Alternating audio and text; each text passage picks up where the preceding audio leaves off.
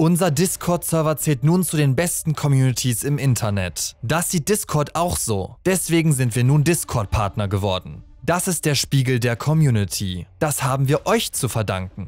Deswegen machen wir noch einmal auf unseren Age of Clones Server aufmerksam. Dieser ist gestern gestartet, schlüpft in die Rolle eines Klons wie Rex oder Commander Cody oder doch eines Jedi-Ritters und helft uns dabei, die Klonkriege zu gewinnen. Auf unserem Garry's Mod Server ist das seit gestern möglich. Weitere Infos findet ihr auf Discord, der erste Link in der Beschreibung.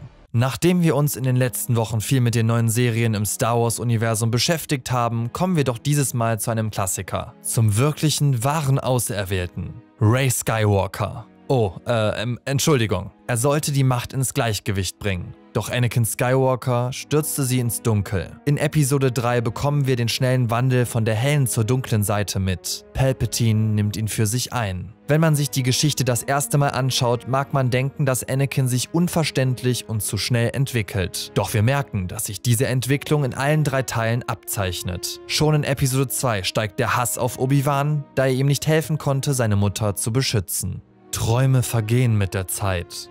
Das war seine Aussage zu Anakins Vision von der Zukunft und mehr nicht während Shmi Skywalker auf Tatooine dabei ist, zu sterben. Wenn ihr das letzte Video gesehen habt, so kennt ihr die Hintergründe Dokus und seines Austritts aus dem Jedi-Orden. Er zählt zu den verlorenen 20. Die Parallelen zwischen Anakin und Doku sind nicht zu verkennen. So wie auch der Graf traf Anakin seine Familie als Padawan erneut und das unter schlechteren Umständen. Das volle Video zu Doku ist am Ende verlinkt. Ein wirklich geniales Thema, nur zu empfehlen. Anakin besaß wie Doku und Seife Diaz die Gabe, in die Zukunft zu blicken und abscheuliche Dinge zu sehen. Abscheuliche Dinge, die einst passieren würden, wie zum Beispiel Padmes Geburt und dass sie dabei sterben würde. Letzten Endes hat sich alles so entwickelt, wie Anakin es gesehen hat. Er konnte all das nicht verhindern.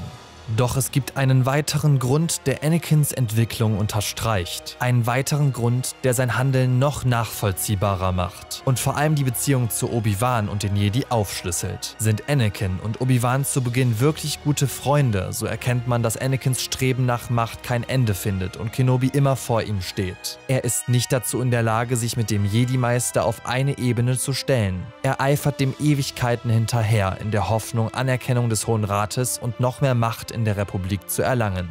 So ein weiterer Beleg im Film. Anakin wird für den Auftrag des Kanzlers in Erwägung gezogen, Grievous zu töten. Und wer verhindert das und würde vor allem den Ruhm für das Ende der Klonkriege erhalten? Richtig, Obi-Wan Kenobi. Der bescheidene Jedi passt Anakin nicht ins Bild und so fehlinterpretiert er, dass Kenobi ihn nicht weiterkommen lässt oder gar eifersüchtig ist. Das sind natürlich alles nur Vorwürfe gegen Obi-Wan. Ob er dem Ruhm wirklich hinterhereiferte, ist schwierig zu sagen. Es würde aber eigentlich nicht so in das Bild Kenobis passen. Anakin ist da eindeutiger.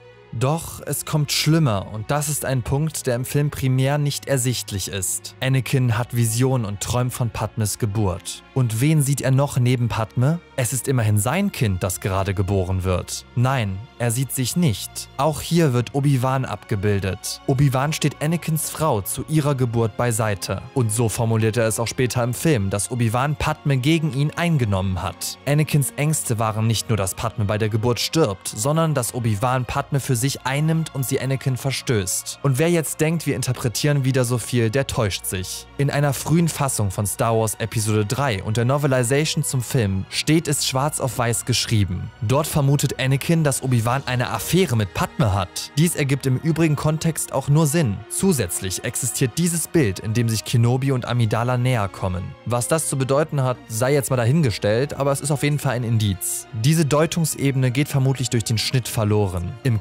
Kontext, dass Kenobi in Episode 3 dann auch noch gemeinsam mit Padme auf Mustafa landet, ist der Eindruck perfekt. Es wäre vermutlich nie zu einer solchen harten Auseinandersetzung gekommen, wenn nicht dieser durchgehende Eindruck von Kenobi entstanden wäre. Wäre Kenobi alleine auf Mustafa und nicht mit Padme gelandet, so wäre diese tödliche Auseinandersetzung eventuell sogar verhindert worden. Dieses weitere Detail erklärt natürlich einerseits den Hass auf Obi-Wan, den Anakin hat, aber auch seine Entwicklung ziemlich gut. Doch was ist eure Meinung zu dem Thema? Schreibt uns das in die Kommentare.